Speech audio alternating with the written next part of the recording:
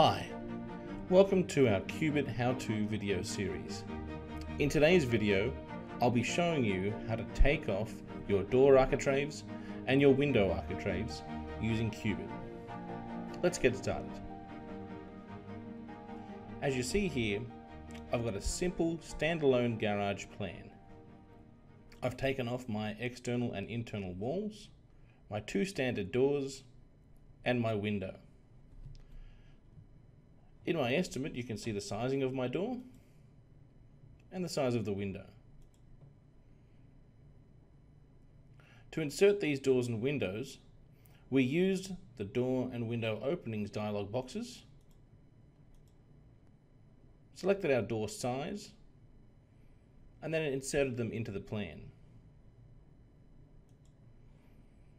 Our deductions have already occurred in the calculation sheet, and we're ready to quickly calculate our architraves.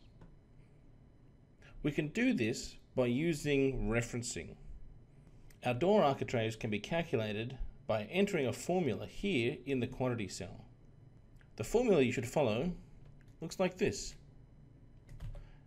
Open bracket, at symbol, dr for door, dot h for height,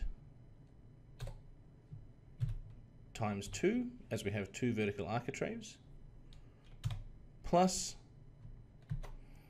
at dr dot width for our door width, close brackets, divided by 1000 to bring it back to a meter quantity rather than the measured millimeter quantity. If I push enter now, you'll see we have 9.8 meters of architrave, but we're still not there yet. We need to consider the fact that our architraves are framing the door, and all we've utilized so far are the door heights and door width. So we can add a little bit more to this formula. Let's assume that our architraves are 60 mil wide. To account for this in our formula, we'll simply plus 0.060 for our 60 mil architrave times our at door dot number times 4. We now have the correct measurement for a 60 mil architrave around our inserted doors.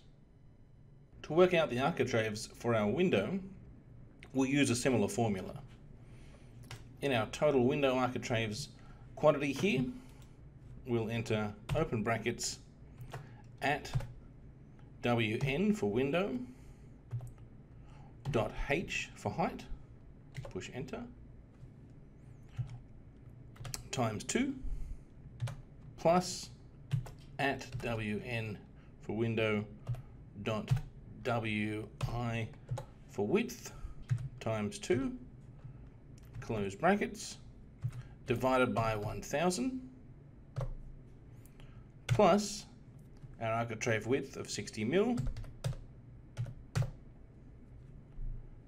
times 8 times at wn dot n for number. Once our formula is complete, it will return a value according to all the windows in our estimate. If I create a new window, that architrave size will automatically adjust dependent on the size of the new window. Thanks for watching our video. Remember you can always get in touch with the help desk team or check out our YouTube site for even more great videos. Happy estimating.